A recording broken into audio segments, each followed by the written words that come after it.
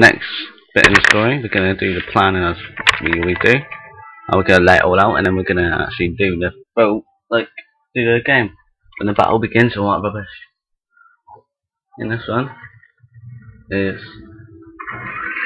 not bad, except when you get a new enemy called Wolverines or some rubbish like that. I think, um, not bad difficulty, but quite hard.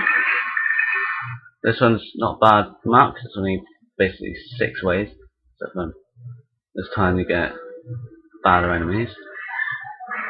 What I'm going to do for this one is put, put basic, put things down on the end, and then a bit quiet because a bit worried if I've been hacked or not, but yeah. Right, I'm going to do this quickly, and then once we get this, I'm going to shoot plan out and then we're going to go into the battle. Just put it all. But yeah, it's not bad, it's not more than mods, back again, but just wrecks it I think, because you're not getting the full feel of the game. When you're using mods.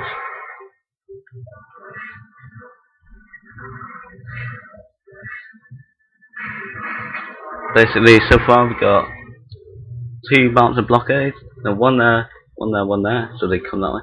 We're gonna have turrets there. We only got one at a minute, but yeah, that's gonna be our plan out so far. But yeah, the next one we'll be showing the video when it starts battle. Mm, not bad.